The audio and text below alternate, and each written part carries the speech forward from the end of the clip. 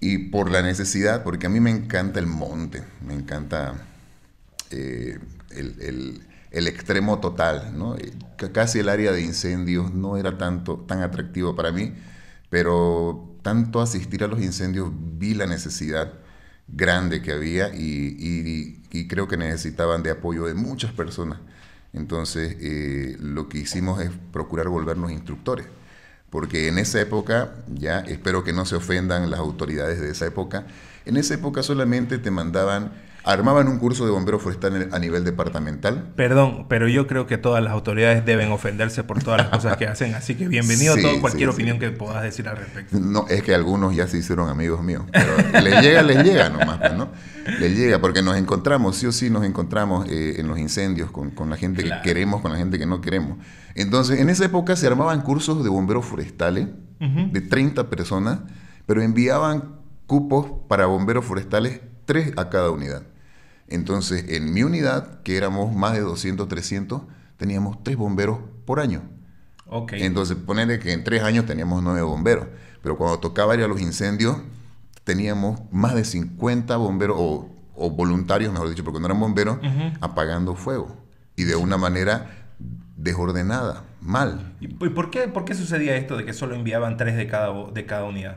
Es que en ese entonces existía un programa de parte de OFDA de USAID y ellos ponían, ¿no? Ya los que organizaban, no sé cómo lo harían, y las autoridades no respondían o no asumían la responsabilidad, mejor dicho, para organizar algo más eh, solventar, porque hacer un curso cuesta. Yo he hecho, organicé muchos cursos, sobre todo en 2019, y te, digo que cuesta hartísimo, ¿no?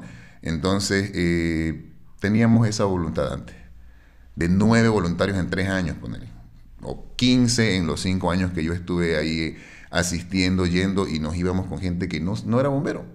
No tenía esa capacidad y obviamente hacía lo que hoy día están haciendo muchos bomberos en la chiquitanía.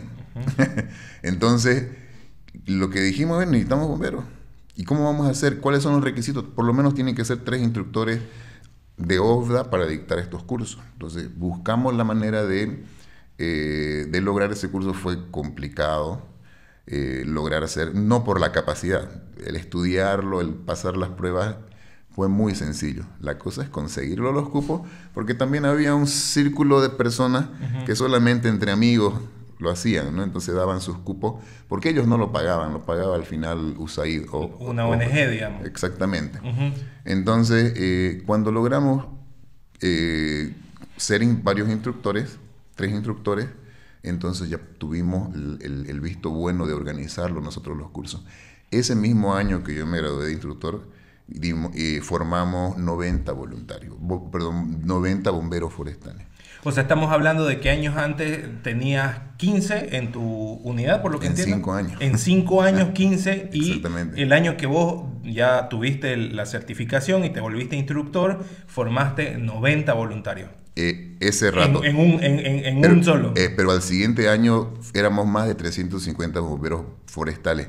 En Santa Cruz, con el equipo que tenía en ese entonces, te hablo del 2011, formamos la brigada más grande de bomberos forestales en toda Bolivia. Ok. ¿No? Y eh, para ese entonces yo ya estaba como jefe de operaciones también dentro del SAR. Entonces hicimos proezas, porque teníamos 50, 100 voluntarios apagando fuego sin ser bombero y siendo bombero en esa época, si se acuerda Santa Cruz, no nos aguantaba un incendio en esa época. Si te gusta lo que nosotros estamos haciendo con este espacio llamado el blog de Pacu, eh, te voy a dejar un QR para que puedas hacer tu aporte económico totalmente voluntario. El monto lo pones vos. Esto nos va a ayudar a que nosotros mantengamos la continuidad y sigamos produciendo este contenido. Muchísimas gracias.